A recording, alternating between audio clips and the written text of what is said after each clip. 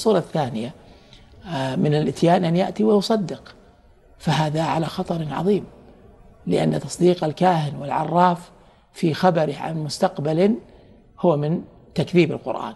ولهذا قال النبي صلى الله عليه وسلم كما جاء في المسند بإسناد جيد من أتى كاهنا أو عرافا فسأله فصدقه.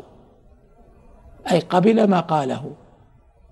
لم آه، فقد كفر بما أنزل على محمد. كفر بالقرآن. ليش؟ لأن القرآن يخبر بأن بأنه لا يعلم الغيب إلا الله كما قال تعالى آه، قل لا يعلم من في السماوات والأرض الغيب إلا الله وما يشعرون أيان يبعثون